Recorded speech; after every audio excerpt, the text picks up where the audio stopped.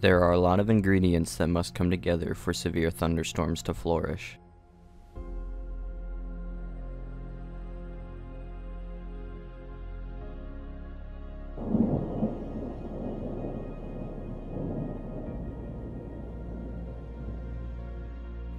If even one of those ingredients don't come together perfectly, it can lessen the severe threat or kill it altogether, leaving nothing but blue skies. Headed home. There wasn't any storm initiation anyway. So looks like we're on to tomorrow. But sometimes, on rare occasions, the ingredients come together perfectly, and the result is a day that will be talked about for a very long time. Stop, stop up here, stop up here, stop, stop, stop, stop, stop, stop, stop, stop, stop, stop. Whoa! Holy Jesus. Okay, uh, we may need to turn around. Okay, hold on. April 22nd, 2020 was one of those days. This is the story of the Springer, Oklahoma tornadoes.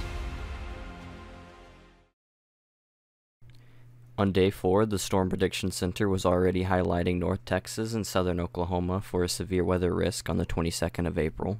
And on day 3, an expansive slight risk was issued. Finally, on day 1, the SPC had upgraded a large portion of North Texas and southern Oklahoma to an enhanced risk, including a 10% hatched area indicating the potential for tornadoes EF2 or stronger. Early that morning, after looking over weather models, I located two areas of potential tornadic activity later that afternoon. The southern mode in southeast Texas, and the northern mode in southern Oklahoma and north Texas.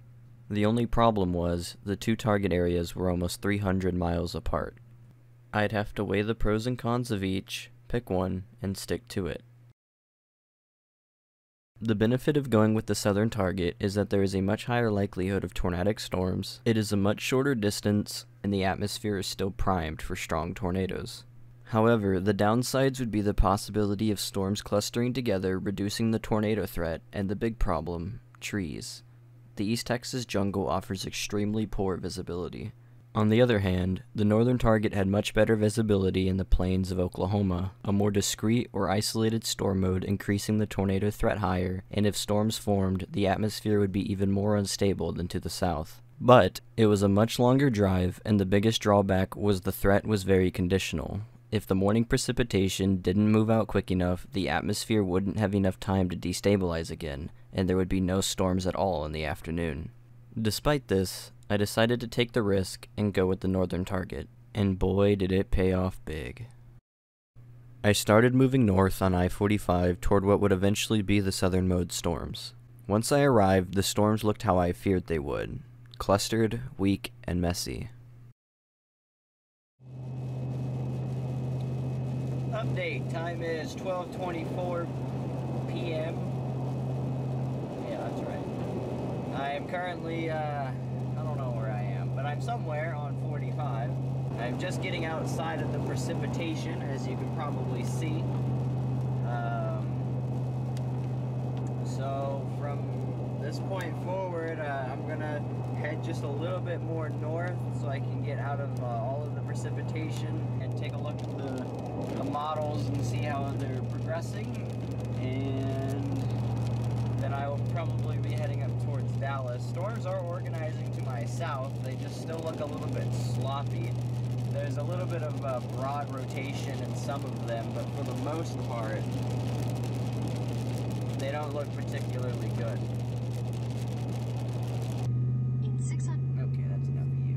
Yeah, so I'm gonna go and do my restroom break real quick, and then uh, we're gonna need to make this fast because it looks like there is cumulonimbus clouds going up just west of Dallas.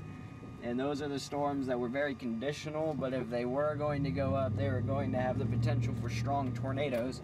And it does look like the potential is growing for them, for the storms to actually form. So we're gonna make this stop pretty quick, and we're gonna get out of here and start heading north again, and uh, try to get into Dallas and then move west of Dallas.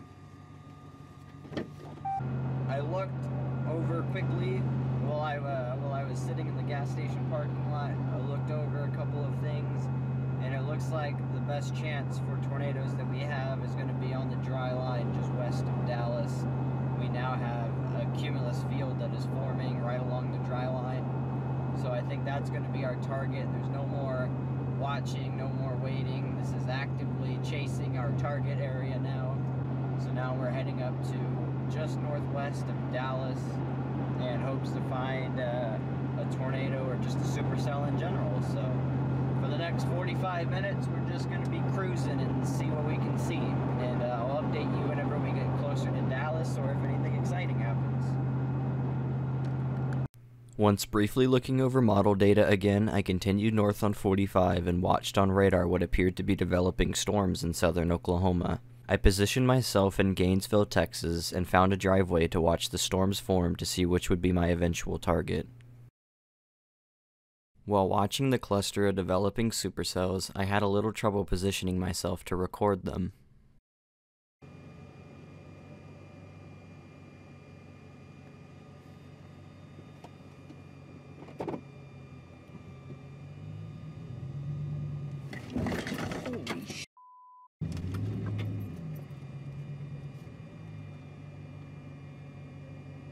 That was a lot bigger of a hole than I thought it was. Whoops. However, after my mini heart attack, I began to take particular interest in the supercell west of Ardmore, Oklahoma that was rapidly strengthening.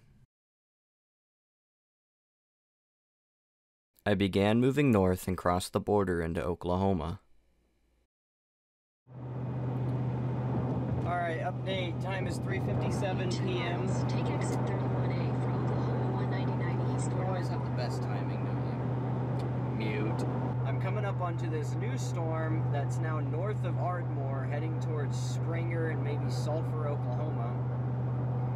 And it is currently severe warned. It has been severe warned for a little while now. And it has some nice rotation on the south side. And I actually just went over a hill back there and got a quick glimpse of the base of the storm. And it, it does have a lowering, and it does look to be uh, a more organized lowering than what I had seen previously on the other storms.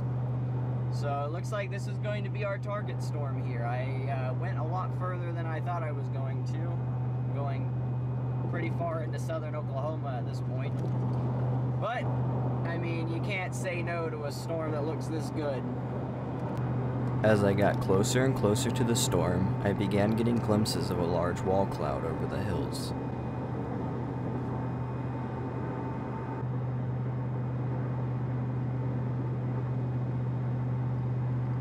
That is a very large wall cloud. This is this is about to produce a tornado in a second.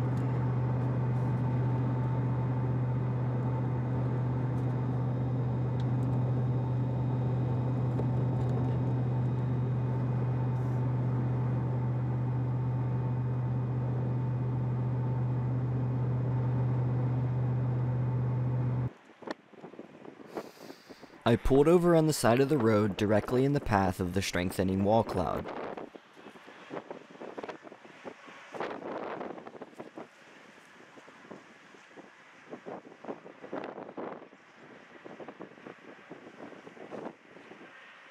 Rapid rotation in a bright inflow region on radar showed that the storm was gulping in warm, moist air, fueling its engine.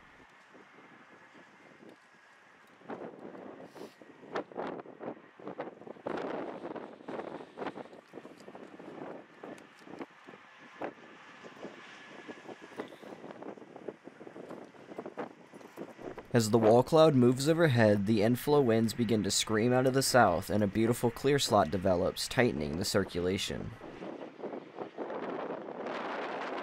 All signs say a tornado is imminent.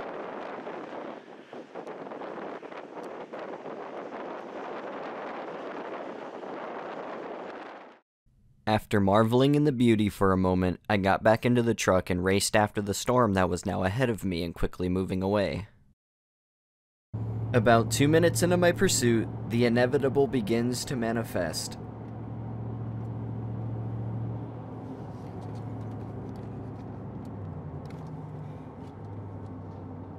Was that a tornado? Oh, that may be a tornado. Oh, that's a funnel cloud. It's a funnel cloud. Tornado warning. That may be a tornado. It's a tornado right there. Yes, yes, yes, yes, yes, yes, yes, yes. Come on, come on, come on, come on. Come on, come on, come on, come on, come on, come on, come on, come on, come on, come on, come on. Come on, come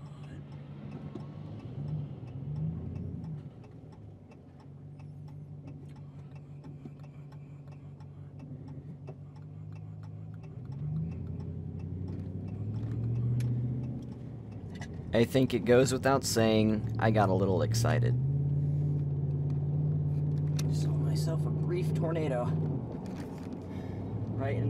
Is again.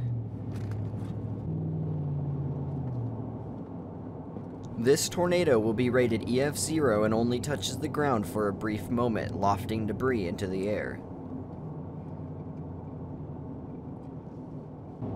Very shortly after this tornado dissipates, a larger and more powerful EF2 touches the Earth.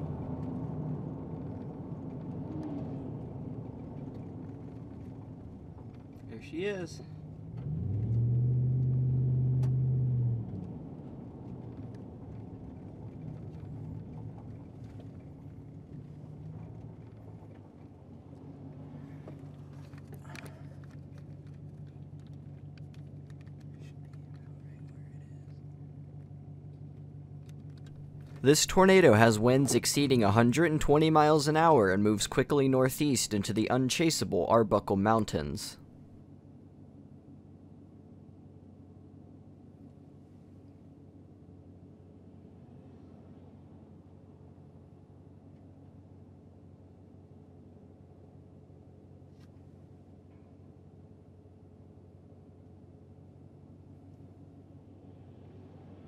I made a quick loop and got back onto the highway to attempt to pursue the storm once more.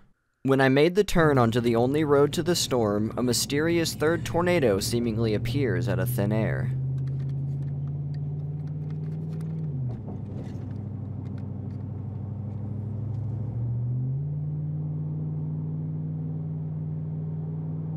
This tornado will never be surveyed by the National Weather Service, but is confirmed to touch down by other storm chasers.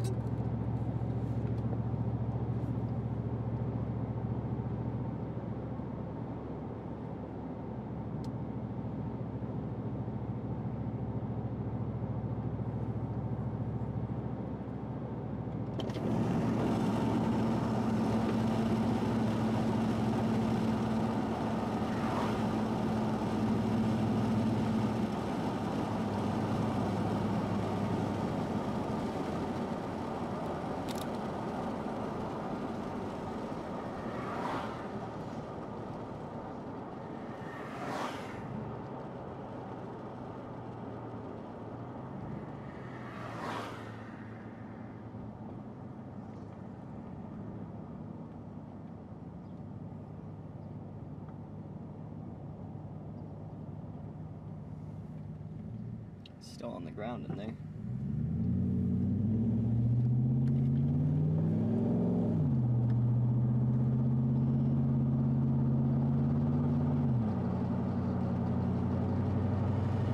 After the last tornado dissipates, I helplessly try to keep up with the storm. Okay. Well, we're on our turn. And this looks like what I would expect deep southeast Oklahoma to look like.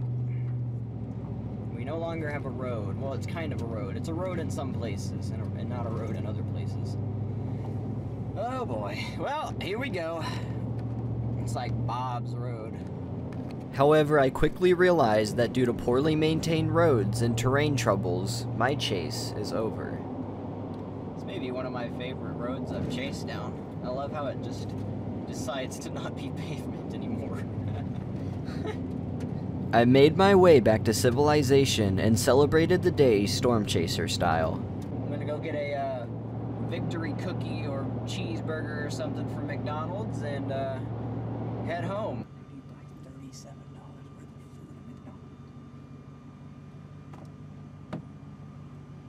Hi, welcome to McDonald's. How can I help you?